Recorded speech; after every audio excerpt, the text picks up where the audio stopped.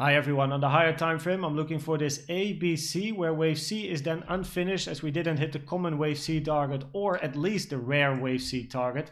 That means that I'm looking for like a 1, 2, 3, 4, 5 where I then expect us now to be in this sideways slow correction of a wave 4 where wave 4 is not allowed to close high time frame candles below the 0.5 and that's why the invalidation is at about 20.3k and the Fibonacci is taken from the low of 2 to the high of 3. A potential trading setup can then be that the low of the blue 4 with the 382 provides a little bit of nice confluence and an entry area over here at about 21.3k with then the stop loss below the invalidation with a little bit of leeway trading it up to the minimum target of this wave x in an even bigger wx and then eventually y to the downside where the 382 is positioned at about 29.7k some nice confluence here as well with the support area then turning resistance for a lot more downside to expect in a wave y which is then the red wave y and a w, x, and then eventually a y to the downside. Entries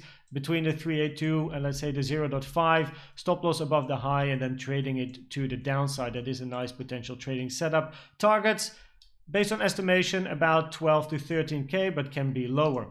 The bearish scenario on the higher time frame is that wave C5 and X already in over here with an ending diagonal which I will show you on the medium time frame and then eventually we're just looking for much lower prices. The invalidation is if we take the highs once more and we're looking for prices of at least taking the lows here of this yellow B at 15.4k on the medium time frame, this is the bullish scenario that I have as this is then connected to the higher time frame wave 4 and we expect another wave 5 to the upside where currently this is a W, X and then a Y. And this WXY might be the end of wave 4 and then looking for upside in wave 5 or this is only the beginning of a three wave structure and then wave 4 ends over here. Before then a move up for eventually wave 5. Now in this potential wave Y, I'm looking for the following. It's a three-wave structure that I'm currently looking at, like a WXY. And what is nice about this is that the target area for the green Y over here in this WXY has confluence with my yellow target box as the target area for wave Y is between the 1 and 1.236 trend-based fib extension taken from the high of 3 to the low of W to the high of X and you can see it has some confluence with the yellow target box of which you can see the confluences inside the target box on the right side. The invalidation on both sides is taking the high of X, but also if wave Y goes below the 1.618 trend-based fib extension, which also happens to be then the invalidation level for a wave 4 in general. The bearish or wait, and the trade uh, on this scenario, a potential trading setup in this scenario, is then entering about like the weekly naked point of control and then putting the stop loss below the lows over here, which is also again the um, invalidation for a higher time frame wave 4. One can trade it then up and then the question will be if this will be a three-way structure because then of course one has to enter uh, or exit the trade over here or if this is the end of wave 4 one can trade it all the way up to about 30k the more bearish scenario on this time frame the medium time frame is again that we have an ending diagonal over here ending wave c and therefore also uh, the X, I gotta change the B here. And then eventually we have a three wave in a one, three waves in a two, looking for some sort of a three wave in the three, and then eventually 4 and 5. This then is a leading diagonal in a wave 1, then we have wave 2 and eventually wave 3 for a lot more downside to come.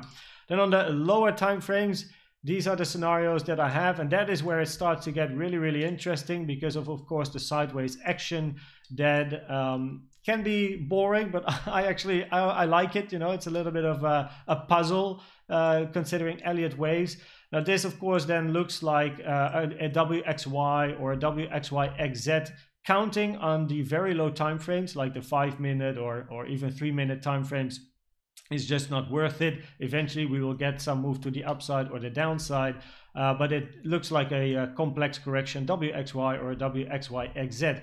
And what you can see is that I have purple lines on my chart as well as yellow lines on my chart. And let me remove this one to make it a bit clear. So what I'm looking for is basically two potential setups because the longer this takes, the more the, let's say, purple setup starts to become valid. So currently I'm looking for some sort of a three wave over here in a W then we have two options, either the purple option or the yellow option on the low time frame. The purple option is that this is indeed some sort of a WXY, maybe another XZ, and we just channel ourselves a little bit upwards, la di la di la di la, till eventually the 382 and the 0.5 Fibonacci target area in this case, and then we move down for then potential wave Y. If that is the case, then the targets of this wave Y is going to be lower because the W, the purple WXY inside the green WXY is going to give us a target with the one-to-one -one inside the target box over here. So that is then the one I prefer looking at as this one has confluence with the yellow target box. If we look at the yellow count, you can see that my X is a lot higher and the yellow lines, the fibs are a lot higher as well. Because in this scenario, what I'm then looking for is that somehow this is then still the first part of the correction. We get a second part, a move down, and then a third part up. So then we get an ABC expanded flat in this wave X. And then we have an A, and A is somehow quite complex, like a three-wave structure, WXY, who knows? But eventually I'm looking for then some sort of an expanded flat. Why?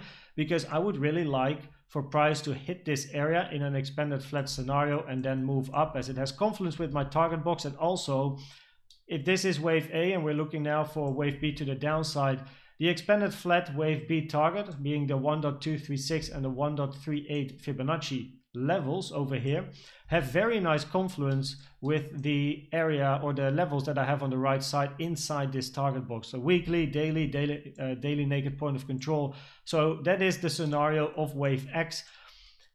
Basically, what I'm saying is if we hit the 382 before going down, I'm looking for the purple lines if we don't hit any of these purple lines, but we go down first, I'm basically looking for another move to the upside before then eventually more downside. And that is then also the way one can trade it. So these trades are depend on the scenario. These are currently based on the yellow scenario where if this is indeed an A, B, C in the yellow scenario and we don't first hit the purple lines before going down, then this can be a potential trading setup where one can enter at the target area of an expanded flat in the B, weekly and daily naked point of control over here.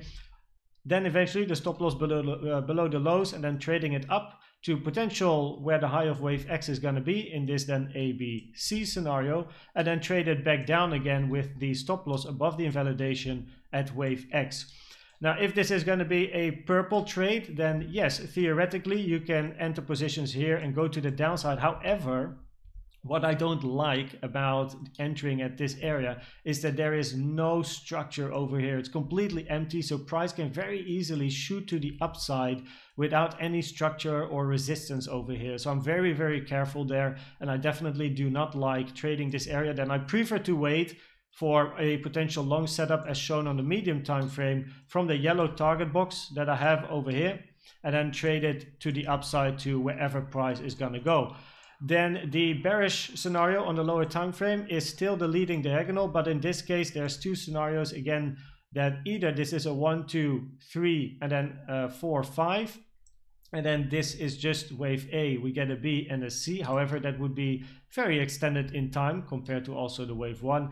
Or this is still the W and then some sort of an X, Y to finish wave 3. Then eventually we have 4, 5. And uh, yeah, you have seen the, the rest of the scenario on the medium time frame where this then is a wave 1 diagonal, 2, 3 and way more downside to come. So Thanks for watching this video. Please like and subscribe if you found it valuable. My next update will be at 1 p.m. Central East European Time. I hope to see you then. Bye bye.